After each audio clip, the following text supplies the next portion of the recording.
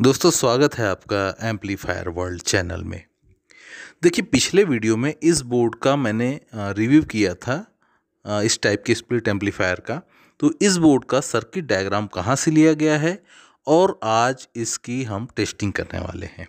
तो देखिए, सबसे पहले बात करते हैं हम इनपुट सेक्शन की। तो ये इनपुट कार्ड है। तो आप देख रहे हैं कि यहाँ पर इनपुट सेक्शन जो है, इसमें तीन ट्रांजिस्टर लगे हुए हैं। और जो सर्किट डायग्राम आप कॉपी पर बना हुआ देख रहे हैं ऑलरेडी मैंने इसका वीडियो बना चुका है और वो अपलोडेड भी है।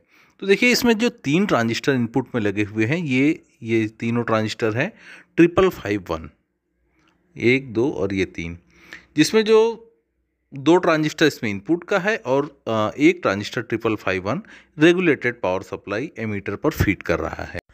मतलब ओवरऑल बात करें तो इनपुट सेक्शन में जितना मटेरियल कुछ लगा हुआ है, वो सारा कुछ इस इस इनपुट पीसीबी पर मैंने लगा दिया है। अब इसके बाद हम बात करते हैं बायस सेक्शन के पीसीबी की। तो देखिए ये बायस सेक्शन का पीसीबी है। तो यहाँ पर आप देख सकते हैं कि इसमें तीन ट्रांजिस्टर इसमें भी लगे हुए हैं। और जो हाइट पर, यानी कि ज़्यादा ऊंचाई पे एक ट्रांजिस्टर लगा हुआ है बेस के साथ, वो बायस ट्रांजिस्टर है। अब हम सर्किट डायग्राम में देखते हैं देखिए, ये ट्रांजिस्टर, ये ये ऐसे तीनों ट्रांजिस्टर लगे हुए हैं, जिसमें एक फाइव फोर ज़ीरो वन है और दो ट्रिपल फाइव वन है। और ये ये कैपेसिटर, जो ten ohm zero point five watt की रेजिस्टेंस के बाद है, देखिए, यहाँ पर एक कैपेसिटर, यहाँ एक कैपेसिटर है। तो ये दोनों बड़े साइज़ में हंड्रेड यू के यहाँ पर लगे हुए हैं। और जो ten u F fifty volt का कैपेसिटर है इन दोनों के सेंटर में लगा हुआ है। तो इस तरीके से इसमें भी मिनिमम मटेरियल के साथ जो बायस सेक्शन में जितना भी मटेरियल है, वो इसमें लगा दिया गया है। अब नेक्स्ट इसके बाद हम आ जाते हैं आउटपुट स्टेज पर।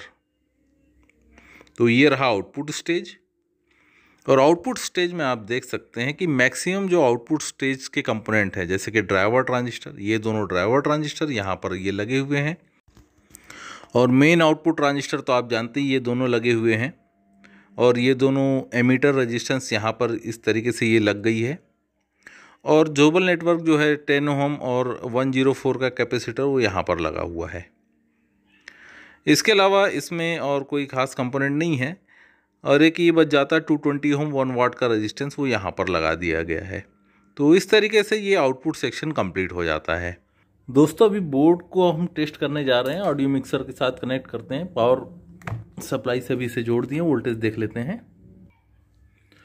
एक्चुअली दोस्तों, इतना छोटा हीट सिंक तो रिकमेंड नहीं किया जाता। इसमें बड़ा हीट सिंक लगता है, लेकिन फ़िलहाल हमें तो केवल टेस्ट करना है। तो देखिए, अभी इसमें रेल टू रेल 72 वोल्ट है। यानी कि अगर बात करें तो सिंगल सप्लाई की तो 35 वोल्ट के करीब इसमें है विथ रिस्पेक्ट ग्राउंड तो ग्राउंड के साथ देख लेते हैं। तो 36 वोल्ट आ रहा है प्लस एंड माइनस के साथ भी 36 वोल्ट होगा। Minus thirty six volt.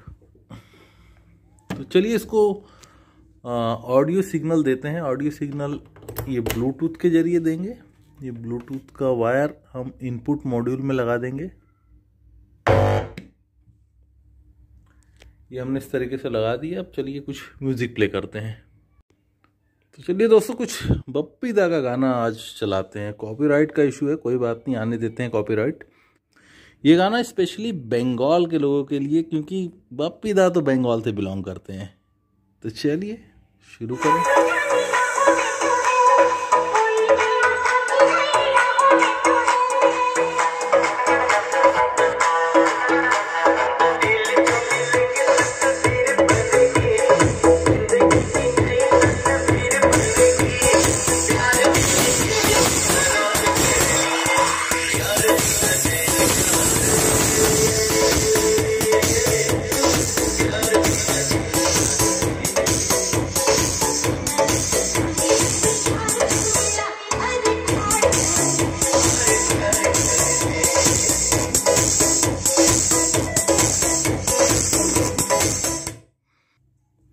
थोड़ा आठ इंच के साथ भी अब देख लेते हैं।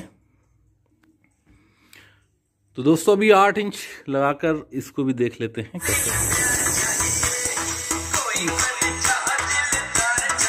इसमें बेस थोड़ा कम रखना पड़ेगा क्योंकि ऑलरेडी बहुत ज़्यादा जंप करेगा।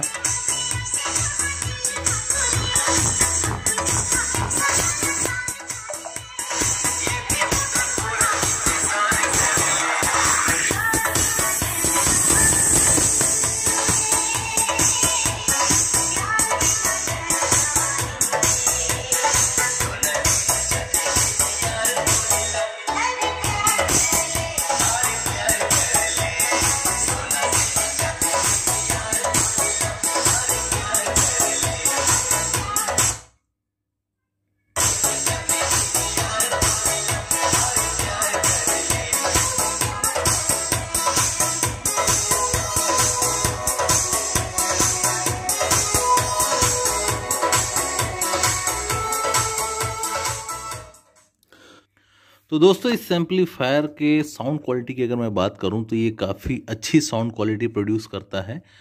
होम यूज़ के लिए काफ़ी बेहतरीन है, क्लीन साउंड है, और इसके साथ साथ इसमें किसी प्रकार का कोई हमिंग नहीं है। अगर बिल्कुल वॉल्यूम ज़ीरो रखते हैं तो स्पीकर पर भी बिल्कुल कान लगा देते हैं तो ऐसा कोई हमिंग का नॉइज़ बिल्कुल भी सुनाई नहीं देता। वेरी साइलेंट है ये।